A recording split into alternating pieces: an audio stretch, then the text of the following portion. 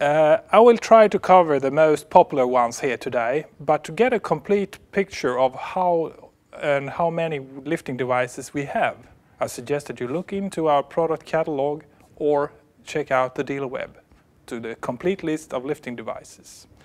Even if you have a scooter or um, maybe a big power wheelchair, please take a look because we have a lot of lifting devices. I will start with the smallest one. It is quite simple thing. It is made out of two bands that are connected in one piece here and as you can see when I lift it it is clamping on. In the product catalog it says or it's showing a picture of a foldable wheelchair. So once it's folded these two grabs on to the handlebars because the handlebars comes together and this one will fit outside and then when you lift it it holds on to the wheelchair. This is of course a very simple solution that you can easily do by yourself but why bother? Since these are clever solutions that helps you out without having to you do not have to think anything. You just buy one and install it. Easier than that can't be. Quite good solution actually to step it up a little bit, you know I talked about foldable wheelchairs. At the other end we have soft seat wheelchairs. And for soft seats, there are no normally a, sp specific lifting device that you can buy from the wheelchair manufacturer. But if you don't like to or can't find a dealer for that, why not use ours? It looks ra rather easy and it's a simple thing that you can easily do by yourself. But once again, why bother? Buy one from us. it is meant to be sliding on to the soft seat. And once it's lifting, the spreaded piece here spread the force of the seat and you can lift the wheelchair up. Remember also that soft wheelchair seats are normally located on very light wheelchairs. So it's not lifting that much. But it's clever made so that you can grab it on with one hand, slide it in underneath the seat and lift it up. It is easy attached on the Carolift 40 since it's using a carbine hook. And this is already pre-installed pre a hook on it. So you just click it on. Faster than that it's not impossible. It's, it's not possible. But for those of you who normally, well, at least once in a while, lift heavy wheelchairs, you know that it's hard to find the center position of the cargo. So it won't lean, wiggle, turn over. In front of me, I have two very popular lifting devices. One is a, a big steel frame. This steel frame here is the lifting device. In the center here you connect the strap or the belt or the string.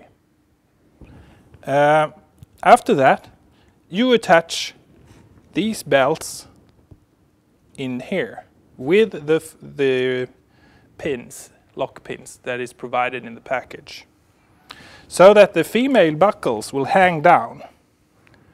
On the wheelchair, you attach these straps wrapped around the frame or around the handlebars if it's fixed handlebars. And then in the other end of this, you put these two, the male buckle.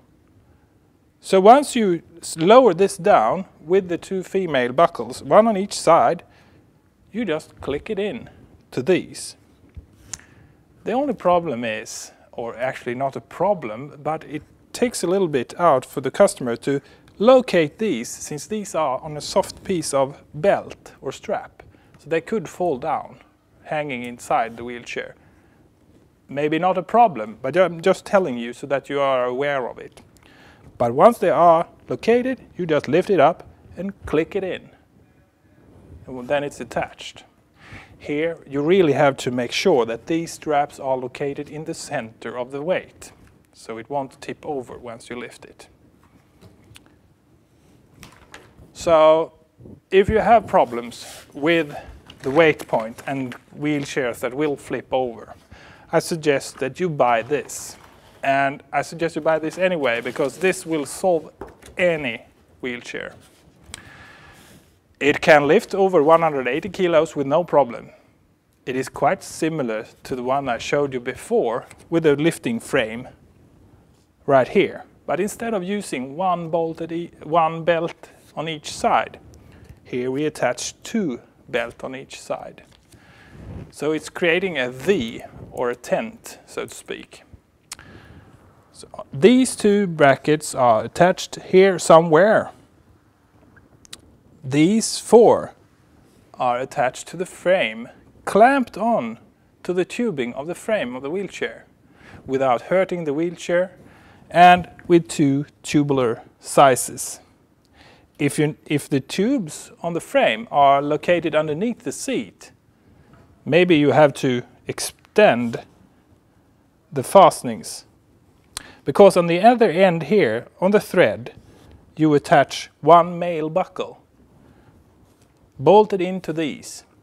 So with four locations, you don't have to find the center of the weight because these four belts that are attached on each side with these, you could create this on the side of the wheelchair. So you can shorten one just to tip it over a little bit and lengthen the other one to flip it forward. So with these straps, which are adjustable, quite easy, you can tilt it back or forward. So if you have a problem, especially with power wheelchairs where they have a large battery package in the rear, it is hard to find the center of uh, weight point.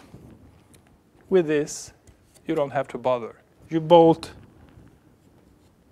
these four into position, one of each corner, and then you use the straps to strap it up in the right level. So don't think, use. This is a brilliant product. And these are of course universal packages. So these fits most solutions. Yep, this was the two cranes, the hoists, Carolift 40 and 6900. This is of course not the only cranes, lifts and hoists that we have in our product portfolio.